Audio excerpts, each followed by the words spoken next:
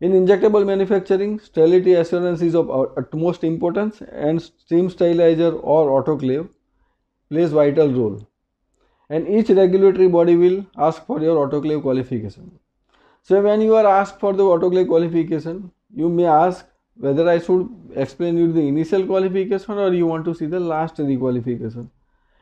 It is usual practice that they will see the last requalification. Why? Because your last requalification or latest requalification represents your current load patterns, current parameters. So when they ask for the autoclave validation, autoclave qualification document, you please bring the entire document, entire docket with you. Don't bring a single file, but please bring the entire documentation set. It can be two files, three files based on how many load patterns you have, how many data you are generating during a requalification. Bring all the documents. Don't just come with a single